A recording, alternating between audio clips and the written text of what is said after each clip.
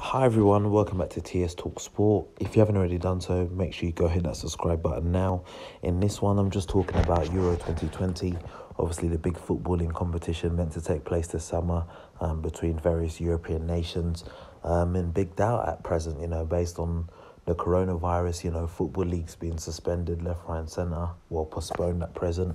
Um, and, you know, we're not sure how long everything could be postponed for.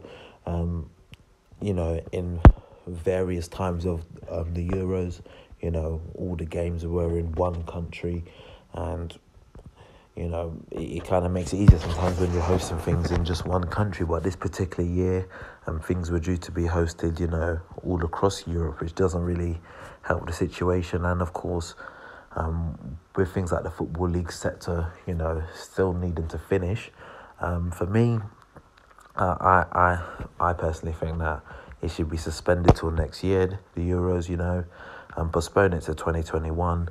Um, teams can finish off the season, I'm not sure, up until um, into June, depending on how long things are suspended, postponed for. And then maybe they just start the league um, back in September, uh, you know, instead of August. Um, definitely stuff can be done in, in terms of this.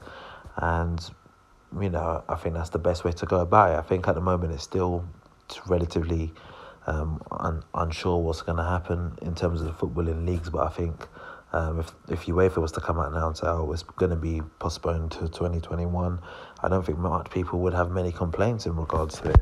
But that's just my thoughts on it. Obviously, I'd like to hear your thoughts on it below in the comment section. And if you haven't already done so, go hit that subscribe button now, and I'll catch you next time.